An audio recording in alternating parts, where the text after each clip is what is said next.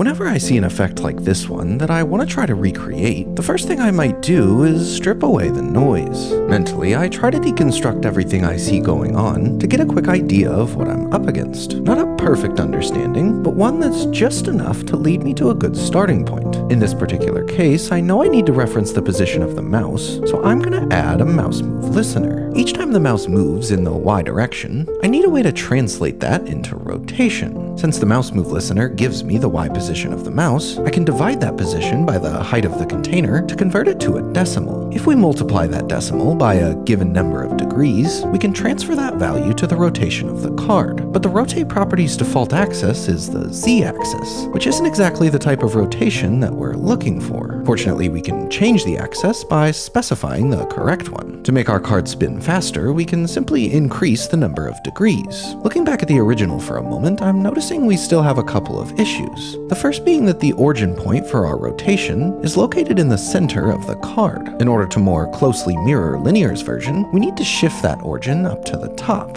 It still feels like there's something missing. I think maybe we're lacking some depth to our animation. I know it has something to do with perspective, but how exactly does that work? Huh, so setting a perspective value is effectively controlling how far away the viewer is from the object. In other words, when you're up really close, changes in things like rotation will be a lot more noticeable than if you were further away. It's not often you come across such an impeccable bug, but when you do, yeah, uh, I, I just couldn't help myself. That's it.